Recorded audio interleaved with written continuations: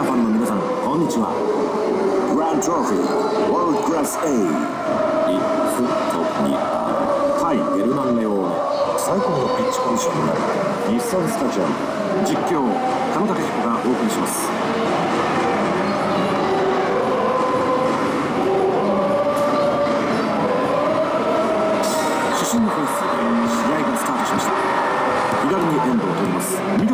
白のユニフォームグランデイフトニア。監督は緑の天使。フォーメーションがシュートですウルラヒえ選手に攻撃的な指示を与えています。キーパーからボールが出ます。このボールをミューラーラームドリブルで右から切り込んでいった。トラップ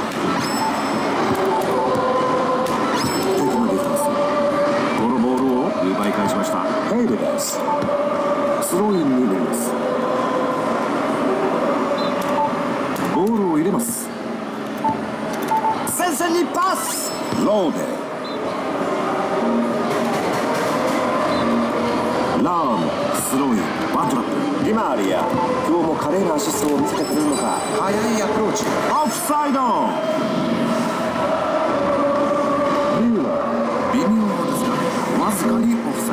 さあプレー再開ですローデセルティック。ドリブル前。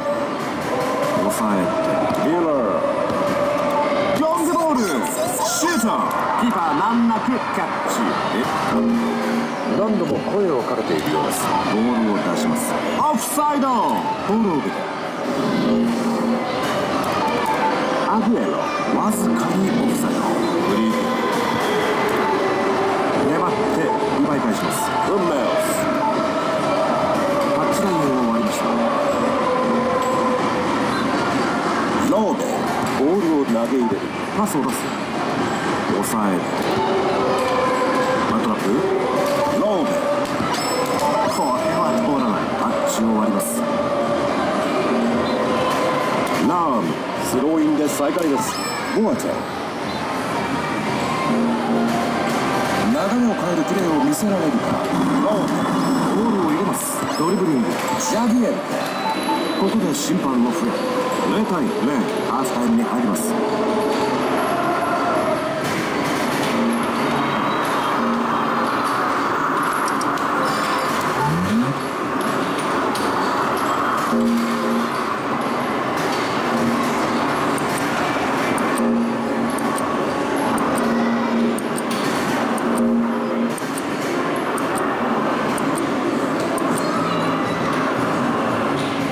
さあ後半戦が始まりました回していく。さあ。このままにはいきません。抑えて。ローデミューラーフンメルから。セルティック攻め込んでいきます。裏を狙う。トラッローデ。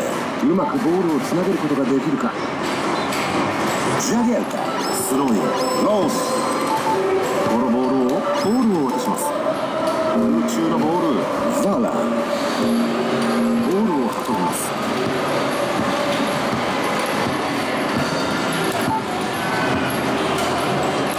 奪われます。センターを突破このパスはアグエロ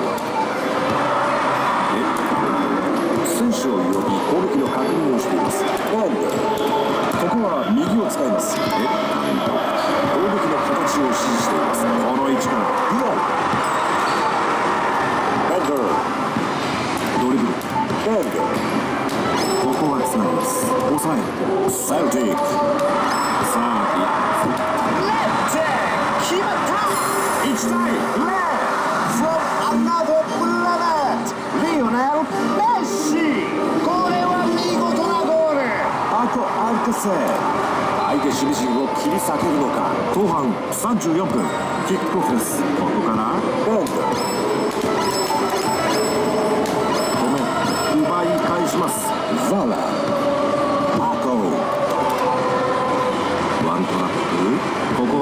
左サイド。メッシ。どうしたんでしょう。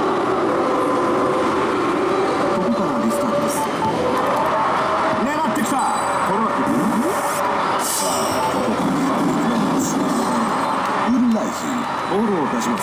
ここで審判のホイッスル。1対0